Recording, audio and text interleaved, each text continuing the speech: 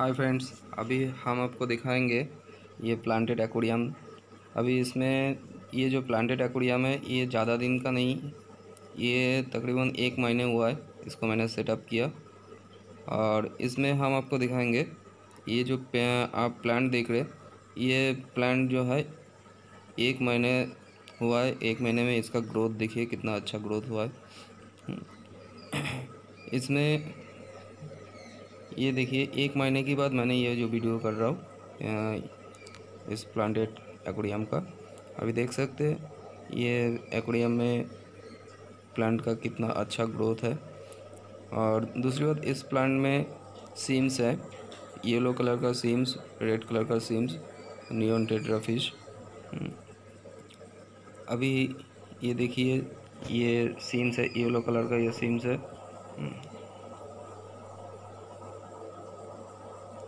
ये देखिए, yellow colour का ये सिम्स आपको अच्छी तरह से दिखाई दे रहा होगा।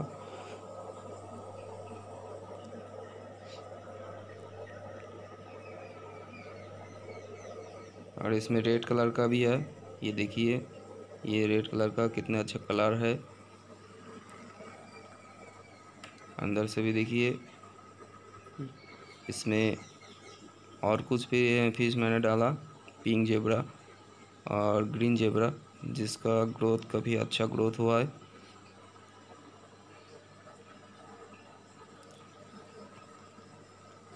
इसमें कोई सी टू नहीं है, कोई कार्बन डाइऑक्साइड नहीं है।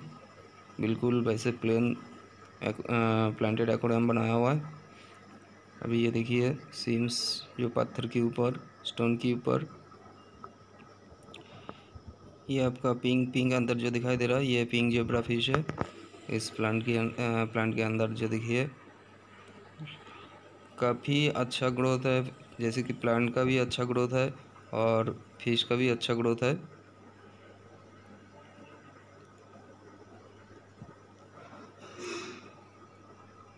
ऐसे कि फ्रेंड्स बहुत लोग बोलते हैं कि सी टू के अलावा इसमें प्लांट नहीं होता है।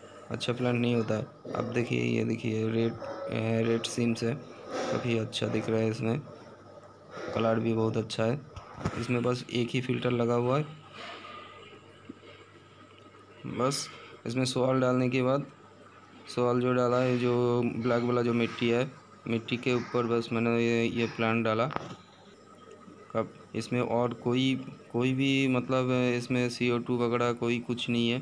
और नीचे हमने खाद भी नहीं डाला इसमें जो फर्टिलाइज़र बोलते फर्टिलाइज़र भी नहीं मैं, मैंने डाला। बस सिर्फ़ कैप्सूल डाल दिया जो रूट टप कैप्सूल मिलता है वो कैप्सूल डाल दिया। और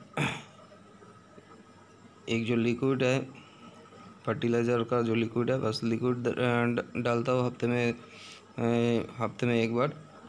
बस फ्रेंड्स आपको अगर मेरा वीडियो अच्छा लगा तो प्लीज़ सब्सक्राइब और लाइक ज़रूर करना।